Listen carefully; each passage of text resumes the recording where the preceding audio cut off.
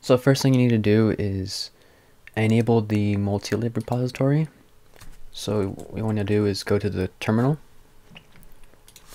You want to sudo and then your text editor of choice. So in this case I will be using nano slash etsy slash pacman dot conf. Scroll down until you see multi-lib right here in the brackets and where it says include equals ets slash etsy slash pacman.d slash mirror list. You want to uncomment these. If there's a hashtag, you gotta delete the hashtags right here. Alright, save and exit. After that, sudo pacman dash syy to update the mirrors. Next thing you want to do, go to archlinux.org, go to the, the arch user repository. Package search, you want to search up Grapejuice. Make sure it's the most popular one, and it's by, the maintainer is Brinker VII. Grapejuice dash git. You want to right click, download snapshot, copy link. You can close your main terminal. So in your folder, you want to choose a folder where, where you want to download Grapejuice. So right click in your folder and open terminal. First thing you need to install are your drivers. So if you don't have your drivers installed, I will leave commands in, in the description. If you have an Intel GPU or anything like that, that should have been installed in your Arch install when you were when you were installing Arch Linux. So I'll leave that in the description. Anyways, these are the packages you will need if you do have your drivers drivers installed. Base devel, wget, p7 zip, wine, and winetricks. It says enter selection, press just press enter for the defaults. For me it says reinstalling for all of these. I already have these, so in this case, um, if you don't have them, you go ahead and install them. So for me, I press no. Alright, now since you have those packages installed, you want to wget and then the link that you copied from the snapshot. We did that by right clicking download snapshot and copy link. And then press enter. Cool. You want to extract the file. So ls, here's the file. Copy it and then run the command tar dash xvf and then paste and press enter. ls again, copy Grapejuice dash git. As a file. We want to cd into it. So you want to cd that file that we just copied. Now right now is a good time to read the package build. So if the package build is pretty malicious or it looks good to you if it looks good, then go ahead and make the package. Make pkg dash si. You see, it looks pretty cool. This is why you. This is why you should get Linux. okay. Uh. Okay. So now, for me, it says Grapejuice is reinstalling. I already have Grapejuice. If you do not have it, go ahead and install it. So for me, in my case, I press no. Alright, so you should be good to go. So now we want to do is install wine tkg which is a patched version of Wine. What you want to do is first you want to run Grapejuice. So now that you installed it, inst uh, run it at least once. Alright, then you can just close it out, whatever. Alright, so right here in upstream URL, go to the URL that's right here, Alright, cool. Now we're on the main page. So now it says installing Grapejuice. So the installation guide can be found on the documentation. So let's go to the documentation. Scroll a little bit down. It says installing Grapejuice with a bunch of emojis. Okay. Guides. So look for your operating system. So in this case, if you're using Arch Linux, then, or whatever your operating system is, install from package. Alright, so installing Grapejuice, we just did that manually, so we can just skip that. If you're using Pipewire, then go ahead and follow these instructions. If you already did that, then go ahead and follow this next guide to install the patch version of Wine.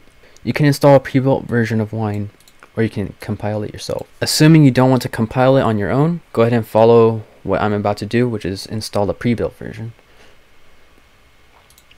Basically, what you want to do is cd into the tmp file, which is like it says. Don't forget to read the script before you run the script, because the third command is going to run the script. So let's go ahead and read it.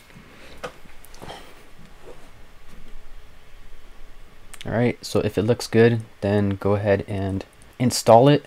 Run this command right here, which is going to download the script. And then to run the script, you want to run this third command right here. And you just paste it like that. And then you just press enter. Alright? Cool. So if once that's done, go ahead and exit out. Um, oh yeah, don't forget to install Roblox. Uh, if you don't have player or studio you have to install it and if it doesn't show up still then you should pro probably play Roblox at least once to get it showed on here alright since you have Roblox installed right played it at least once then close it out open up Grapejuice you should have player at least if you don't have Roblox Studio then you want to install it you can either do it from the website or you can literally just do it from here Grapejuice so it says open Roblox Studio this is where you install it go ahead and install it. If you, for some reason, don't want to go to the website to just open a Roblox Studio, you can just go sign into Studio. Pretty cool, huh? Alright, so anyways, to configure your graphic settings, so you have a bunch of choices of which graphic settings you want. Vulkan is what we downloaded, right? There's DX11. So we should select, I mean, you want to put DX11. That's if you want to use third-party application integrations. So to use DXVK, you have to have DX11. You have to be using DX11. And if for some reason, if you're having trouble playing Roblox, uh, they have a really good troubleshooting guide. What's a little outdated, but so here's the troubleshooting page. You can see the FAQ here. There's one issue that's not on here. Well, it's not really an issue, but if for some reason, let's say you play Roblox, right? And the Roblox window, the player turns, like the whole window turns white. That just means it's just a Roblox bug. It's not really your part. If you still see that white screen, I wouldn't freak too much about it, but I would just wait until like probably like a few hours or so and then play Roblox again. That's a that happened to me once already. It's very rare that it ever happens, so any other issues you should go to the troubleshooting page. Oh yeah, by the way guys, I'll have all the commands and instructions in the description so you do not have to worry about it. Alright, cool.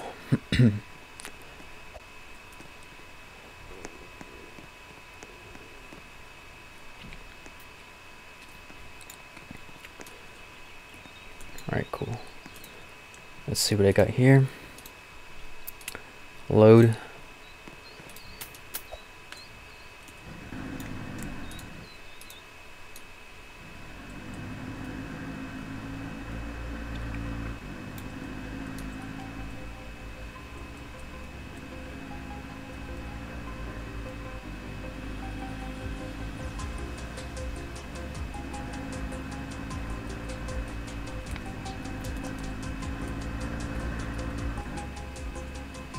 Kind of boat is that?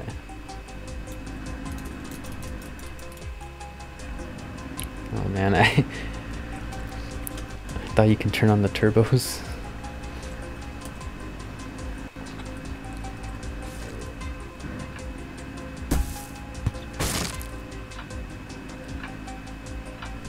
Oh, I'm gonna die.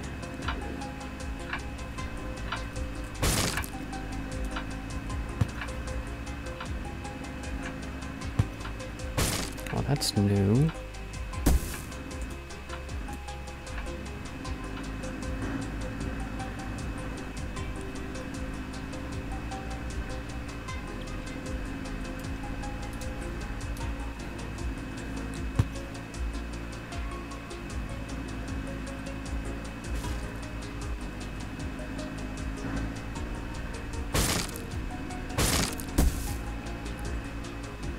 Well, uh-oh. No! My hand! My foot! it's all gone. Oh no, am I gonna make it? Oh, I'm gonna die. My other hand's gone. My other foot. Oh no. No, my hair! Oh! No, no, no, no, no! I'm... I'm dead.